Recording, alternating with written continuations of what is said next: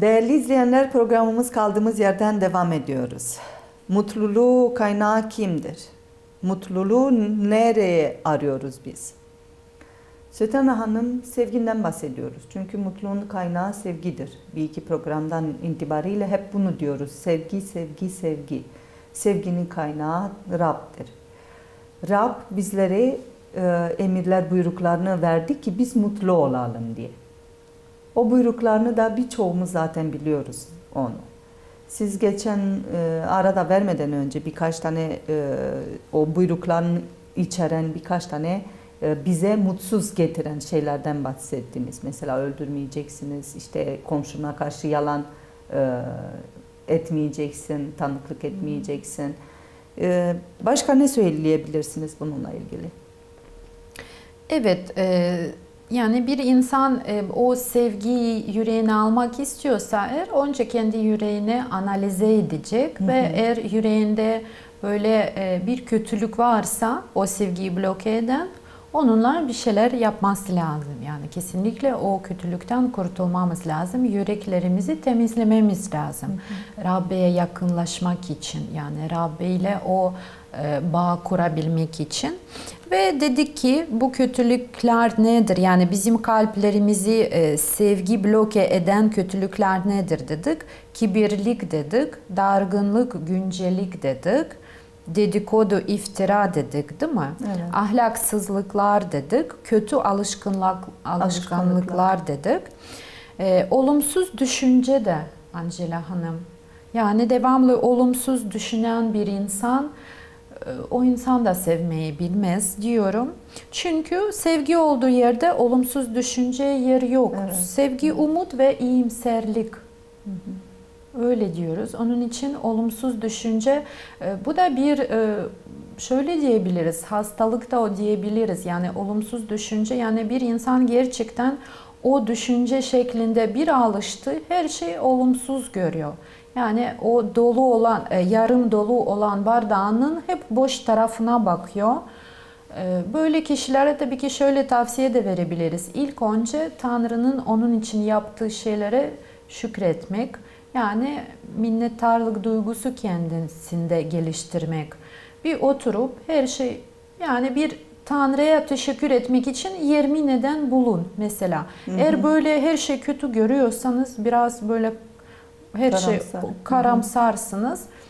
Bir oturun bakalım. Tabii ki eğer depresyonda değilsiniz. Çünkü onu da söyledik e, geçen programlarda. Hani klinik depresyona girer bir insan artık ne yaparsa yapsın o artık hiçbir şey istemez.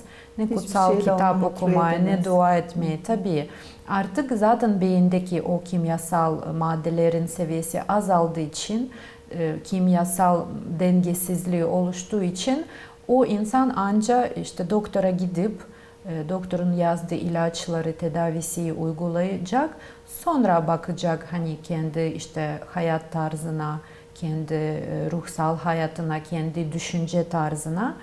Ama normal sağlıklı bir insan hep, eğer hep öyle yani olumsuz düşünüyorsa ilk önce kendine şunu alıştırmalı. Her gün o zaman sabahleyin ilk önce Tanrı'ya teşekkür etmek için 20 neden bulacak. Yeni her gün yeni 20 neden bulacak. İşte bugün beni gece uykusunda koruduğun için teşekkür ediyorum. İşte kendi aile için teşekkür ediyorum, ülkemi için teşekkür ediyorum, ekmek için, işim için, sağlığım için, güneş için bulacak o nedenleri. Hı hı. Böylece o e, olumsuz, hep olumsuz düşünmekten e, biraz o kendi düşünce tarzı değiştirmek amacıyla Şimdi siz onu yapsın e, daha diyorum. önce şeyden bahsettiniz. Birçoğu insanlar böyle hep ben ben ben kendilerini öv, övünüyorlar. Bir evet. tür insanlar o e, özelliklerini bulması biraz zor yani. 10 e, neden, 10 neden yani siz 20 söylediniz ben 10 diyorum. yani kendine kibirli ve övünmez bir kişi ise böyle göklere uçmaya çalışan bir kişi ise o, o on nedenleri bile bulamaz yani. Çünkü hep der ki ben yaptım, ben ben ben. Mer ki farkında değil ki bunları sana sağlayan tek Rab'dır. Rab yeter ki sağlığını çeksin senden. Ondan sonra bir bakalım Hiçbir ben şey ben ben diyebilir misin? Doğru doğru. Evet, 20 neden dedim çünkü 10 neden bence çocuklar bile çok kolayca bulabilirler. Evet. Ama yetişkinler işte kendi e, beyinleri biraz e, zorlasınlar ki o işte düşünce tarzı değiştirmek için. Çünkü artık beyinlerde bir sinir yolu oluştu. Hep olumsuza, hep olumsuza. O sinir yolları biraz değiştirmek için biraz o düşünce olumlu pozitife gitsin diye onun için dedim 20 neden biraz zorlasınlar kendine bulsunlar Evet. diyoruz. Evet. Ama e, olumsuz düşünce de bir e, engeldir. Sevgiye engeldir. İki yüzlülük büyük bir engel, engeldir. Zaten e, bunu kutsal kitaptan okuyoruz. Zaten bunu e, fazla da anlatmaya gerek yok. Açık bu. Yani bir insan iki yüzlülük yapıyorsa öyledir. Yani sevgi asla kalbinde barındıramaz. İsyan ve baş kaldırma diyorum. Yani bu farklı e, isyan ve ba- baş kaldırma olabilir. Belki de sizin eşinize karşı isyanınız var olabilir ya da anne babanıza karşı çocuklarda, genç özellikle gençlerimizde. Belki de sizde e, yönetime karşı yani devlete karşı ya da dünyanın düzenine karşı hatta Tanrı'ya karşı bile e, isyan ve baş kaldırma biliyoruz ki Lucifer ilk isyan ve baş kaldırandır ve Evet. o bütün isyancıların e, yani o onları yönlendiriyor diyebiliriz ki yani bu duygu e, bu kötülük bu bloke eden e, kalbi sevgiye karşı bloke eden şey bu kesinlikle Tanrı'dan değil.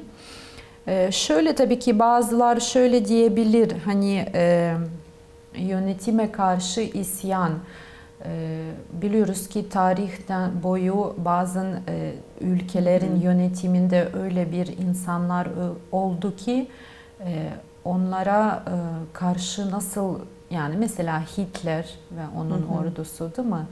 Hani onlara karşı hani isyan etmemek mümkün değil gibi değil mi? Ee, şöyle bir şey e, kutsal kitapta Angela Hanım e, Romalılar kitabında Pavlos böyle bir ayetler yazıyor. Bakın herkes baştaki yönetime bağlı olsun. Çünkü Tanrı'dan olmayan yönetim yoktur. Hı hı. Var olanlar Tanrı tarafından kurulmuştur. Bu nedenle yönetime karşı direnen Tanrı buyruğuna karşı gelmiş olur. Karşı gelenler yargılanır. Ee, Yani yönetim derken e, Tanrı tarafından kurulmuştur. Yönetim derken Tanrı bu e, yeryüzündeki en zayıf insanları koruyabilmek için işte yetimsiz çocukları, dul kadınları, hastaları e, böyle bir yönetimlerimiz var değil mi? Kurumlarımız var, e, devletimiz var. Biliyoruz ki yani çok pozitif taraflar görüyoruz burada. Çünkü o hasta insanları devletimiz koruyor. O kimsesiz insanları devletimiz koruyor. İşte dul kadınlar. Kutsal kitap hep o zayıf yani toplumun zayıf bireyleri korumak, e, yabancıları korumakla ilgili ayetler de okuyoruz değil mi kutsal kitapta ve e, yönetim, devlet bu e, koruma kuruluşları işte gerek e, polis, gerek jandarma onlar hep işte toplumda huzuru olsun, hırsızlık olmasın, işte katil katiller çoğalmasın. Hep bizi korumak amacıyla. Çünkü eskiden devlet kuruluşları yokken e, hatırlıyorsunuz herhalde kadınlar e, tek başına yaşaması mümkün değildi. Bir kadın hele dul kadınsa, kocası öldüyse mümkün değildi. Onun için o kadar e, sık sık işte çok e, eşli evlilik görülüyordu. Ama şimdi devletimiz koruyor böyle kadınları, yalnız insanları ve bu gerçekten Tanrı tarafından yapılan bir şey. İnsanlar daha mutlu yaşayabilsinler diye. Hatırlıyorsunuz İsa Mesih de söyledi. Ne dedi? Sezar'ın hakkını Sezar'a, Tanrı'nın hakkı Tanrı'ya demiştir. Bizim de o şekilde düşünüp Yani bu isyan duygusu Hem kalbimizde insanlık görevi hem vatandaşlığı Tabii. görevi bu ayetini düşünerek e, yerine getirmemiz gerekiyor. Evet e, Angela Hanım. E, Kısaca da tabii ki e, kalbimizde de günah barındırıyorsa da kesinlikle Tanrı'nın orada Tabii. Tanrı sadece vicdan sesiyle konuşur ama böyle sevgi dolu bir insan olmamız mümkün değil eğer günah varsa. Ne yapacağız Angela Hanım? Ee, belki de vardır onlar bizim kalbimizde ve siz dersiniz ki peki ne yapabiliriz? Ben de Evet. istiyorum ki Rabbim gelsin benim kalbimde yaşasın. Sevgi dolu bir insan olmak istiyorum. Herkesi sevmek istiyorum diyorsanız ne yapabiliriz? İlk önce sorunu tabii ki kabullenmek lazım. Ee, diyoruz ki çünkü bakın birinci Yuhanna'da diyor ki günahımız yok dersek kendimizi aldatırız. İçimizde gerçek olmaz. Evet. Günahımız var. Hepimiz günahkarız. Tabii. Sorunu, günahını itiraf etmek lazım. Çünkü kutsal kitap diyor ki ama günahlarımızı itiraf edersek güvenilir ve adil olan Tanrı günahlarımızı bağışlayıp bizi her kötülükten arındıracaktır. Kalbimizi her kötülükten arındıracaktır ve bol bol sevgi dökecektir kalbimize. Evet Angela Hanım. Bir de sorundan ve günahtan kurtulmak için dua etmek lazım tabii ki. Günahımı açıkladım diyor Davut peygamber sana. Suçumu gizlemedim. Rabbe isyanımı itiraf edeceğim deyince günahımı, suçumu bağışladım diyor. Evet. Ne kadar güzel. Çok güzel e, sonuçlar verdiniz bizlere. Çok güzel cevaplar verdiniz bizlere. Umarım hepimiz e, kendince uygulamamız gerektiğini diye inanıyorum.